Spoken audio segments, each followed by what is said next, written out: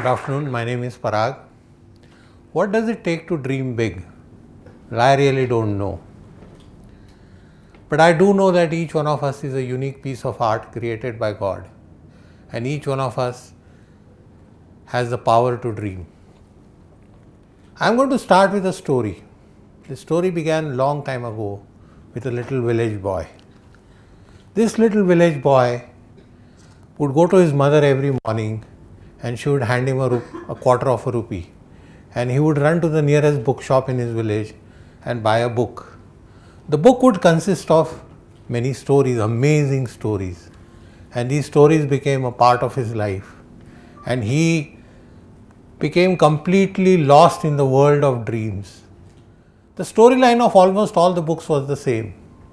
It used to be that there was this young man, the king had announced that somebody who will make his daughter, the princess, smile shall get half the kingdom and the daughter in hand. And the boy would feel very sorry when this man used to go through his trials and tribulations. And then he would come back and win the kingdom and he would feel very happy about it. And he would feel very sad at the end of the book and would wait for the next day to arrive for his mother to give him another quarter of a rupee.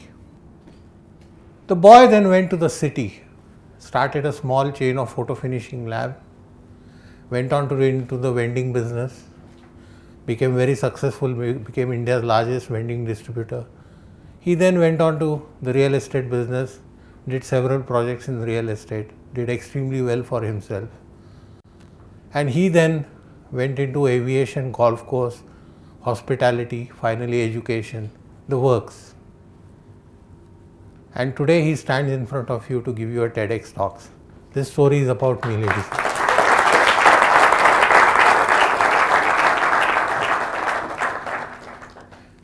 Imagine a quarter of a rupee can make a man dream. And thanks to my mother, she is here with me. She used to give me that quarter of a rupee and she helped me dream. And it's very important that each one of us dreams. Why is it important to dream? It defines our trajectory. If you dream small, if I dreamed small as a village boy, I would have remained in the comfort of the village of my home. I used to live in a town called Daund. It was a very small village in those days, talking of 50 years back. I would have remained in the comfort of my village, but because I had learned to dream, I came to the city and I stand in front of you today. It's not possible for any single man to ever achieve whatever he does without his team of people, his partners, his family, his relatives, his parents, his employees. Everybody plays a big role in a man's success. Why does one dream? One dreams because you hold on to hope. Dreams give you hope. I think the most important element of a dream is its ability to give you hope. And it's very important for every human being to survive, for without hope, there would be despair. Also, I think more importantly in real life, if you follow a dream, you are not pursuing money. You are not passionate about money. You are pursuing a dream. Money becomes then a byproduct. So, you are going to wonder how did a businessman transition into education? Well, here is the story about it. I was sitting with a friend of mine, a very dear friend of mine one day, sometime in 2004. And for a moment, there was a brilliant silence, a beautiful silence between us. And we both said it at the same time God has been very kind to us. Time we gave back something to the society. And at that moment, the words of Pandit Jawaharlal Nehru struck in my head. And I said, You know what? Nehru had said that the temples of modern India are in education and not in the traditional temples that we'll go to. It's there that my journey, I, I didn't know anything about education. But I moved into education thereafter. I began my journey by going to Oxford, Cambridge, Stanford, Harvard, several universities I visited. But before I went there, I had many questions bothering me. I said, What is it that makes a young man in India dream? Somebody wants to be a Ratan Tata, somebody wants to be a Steve Jobs, somebody wants to be an astronaut, somebody wants to be a Preity Zinta or a Sachin Tendulkar. But why is it that only a few make it? Why do others become just me too? Why do students who perform very well in academics end up performing moderately in life? They don't pursue their dreams. And then, why do moderate students perform brilliantly when they go outside our country? These questions were bothering me. And when I went to the US, I was very stuck by the liberal arts system of education there. And that's when the dream of FLAME, the Foundation for Liberal and Management Education, began for me, of which I was the founding chairman. Here is some stunning statistics for you. The stunning statistics is that 24% of US presidents come from liberal arts background. 23% of Pulitzer Prize winners come from liberal arts background. 19% of uh, Booker Prize nominees come from liberal arts background. 20% of Nobel laureates come from liberal arts background. So I said we must bring liberal arts to India and that's how the dream of FLAME began. We began FLAME in 2007. But you know, I am not the sort of person who can stay in one place too long. And that was my time. My calling was next. I said, India needs, India's population demographics are different. India needs something different. What it needs is leaders.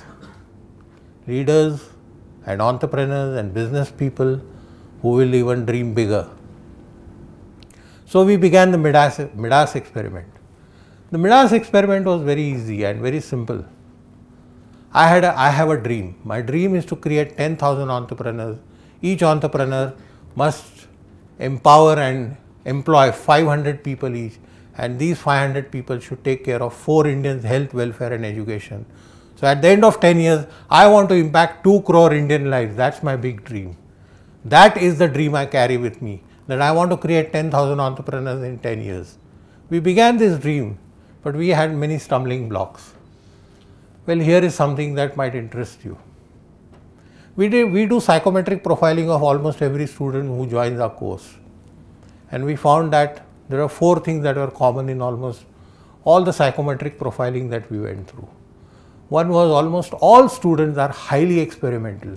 So the word Jugad Bandi actually stands true. We Indians are indeed Jugadis. but it is not backed by rationality. If you are not rational, you are not emotionally stable. And if you are not emotionally stable, you are not adaptable. And I think that's where the importance of good education comes. What does it take to make a good leader? Four, five things are required. Number one, you need to be a creative thinker. Here is where I want to tell you a story of a very dear friend of mine, Dr. Doshi, who is a great architect in his own right. Doshi told me a story of a man who went to standard one in a school and he asked the student, how many of you are artists? And the whole class raised their hand.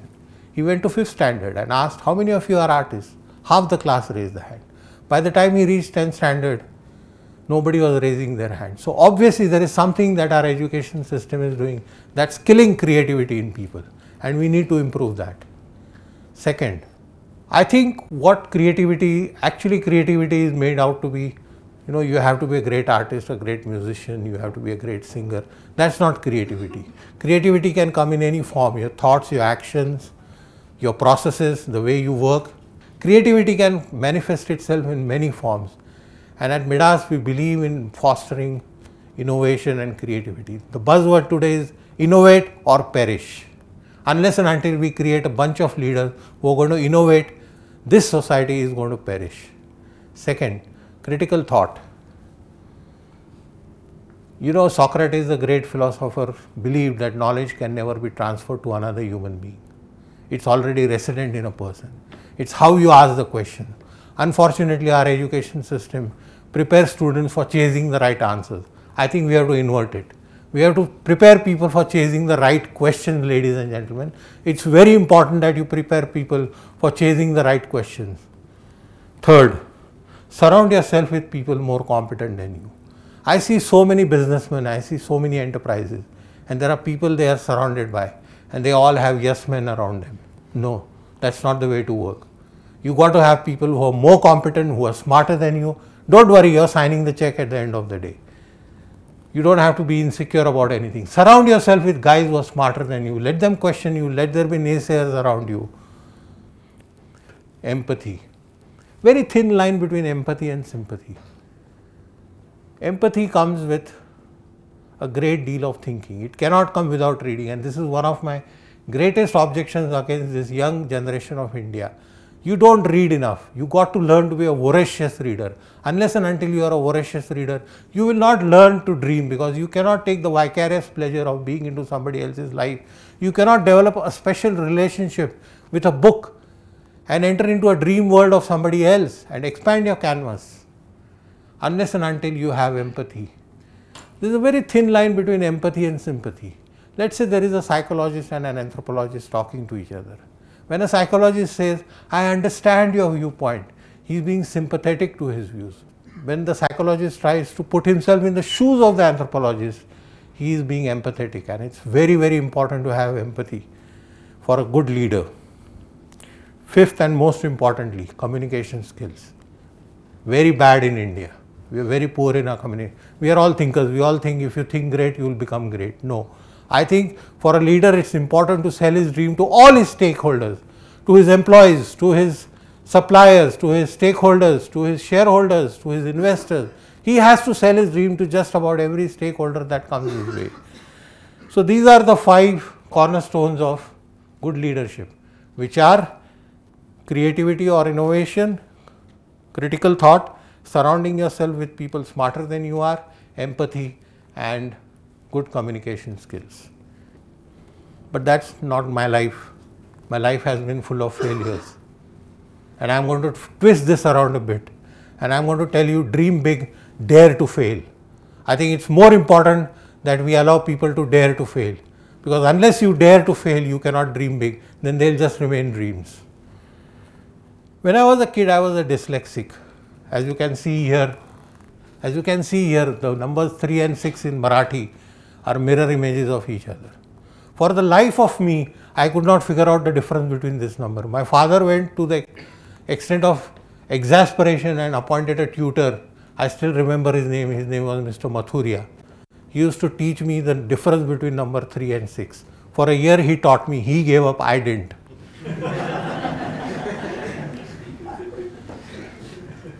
I failed in my 12th standard. I walked up to my mother and I was ashamed. And she said, You know what? Goddess Saraswati sits in this house. Goddess Saraswati is the goddess of education and knowledge. She said, She sits in this house. This house has only chartered accountants, doctors, and professors. You have insulted the goddess Saraswati. I thank my mother for saying that to me because had she not said that to me, I would not have gone into education eventually in my life. That was my inner calling because I think that was the day when I said something I will do in the field of education to bring back the respect to Goddess Saraswati whom I had disrespected. When I started my photo finishing business way back in 1984, I did not receive any films for almost the first 10 days. Every half an hour I would go out of my cabin and I would ask my secretary, the receptionist there. And I had gone or come out of an MBA school thinking I'm going to sit in an executive shack with a pretty secretary sitting outside and I'm going to, you know, dictate letters.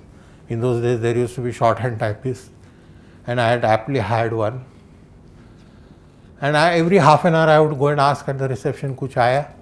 Finally, at the end of the third day, she said, sir, bura lagta hai. Aayega to main bataungi you know, I feel bad. If it comes, I'll let you know. That was the time uh, on the 10th day I picked up my bag and I went into the dingy streets of a seedy area called Budhwar Peth in Pune to meet a customer. The minute I entered his shop, he looked at me and he said, se aaya? Where have you come from? I said, I have come from Snap Photo Finishing Lab. He said, A hut, which literally means get out from here. But I didn't give up, I persisted. I went to him over and over and over again. For three weeks, I went to him. Out of sheer pity and sympathy, that man gave me a few films for processing. I took them and I told him, listen, you just give me 10% of your work. You don't have to give me 100% of your work. You give me 10% of your work, And maybe someday your supplier will not meet your requirements in time, and maybe I'll be there to help you. And that's how my business grew. And I used to eventually, when I gave up that business, when digital technology came in, I used to print 350,000 prints a day. Salute and respect those who have failed. As you walk out of this room, I want each one of you to vow to yourself that for every person who has failed in this life, one of the biggest problems of our society is we condemn those who fail. We look down on those who fail. We disrespect those who fail. On the other hand, I want you all to walk out of this auditorium and promise yourself that every time you meet a failed man, you will say, hats off to you, sir. Because here is a man who learned to fail and get up. Here is a man who learned to, you know, very often I get people who apply for jobs and they say 2007 to 2009 there is a blank. I ask them what happened? Where were you from 2000? Where, where did you disappear in thin air? And they tell me, sir, I was doing a business, unfortunately it didn't do well. I said, damn it, write it in your CV. What's wrong? If you failed, so what's the big deal? You learned. So remember one thing, there is no better teacher in this world except your failures. Your failures are your best teachers. So I want you to walk out of this auditorium and remind yourself that you're going to respect every person who has failed in his life. And finally, I want you to remember something she said. She stole it away from me, but I'm going to tell you this. Remember that we are all born to succeed, not to fail. Each one of us is a unique piece of art created by God. God didn't create us to fail, He created us to succeed. So we must succeed, and all of us will. I'm going to end my talk by a little poem from Rudyard Kipling. Rudyard Kipling had said, it's a longish poem, it's there on the, on the screen here, but I'm going to just pick out few words where he says, if you can dream and not make dreams your masters, if you can think and not make thoughts your aim, if you can meet triumph and disaster and meet both those impostors just the same, you will be man, my son, you will be man, my son. Thank you, ladies and gentlemen. Great pleasure. Wish you all the very best.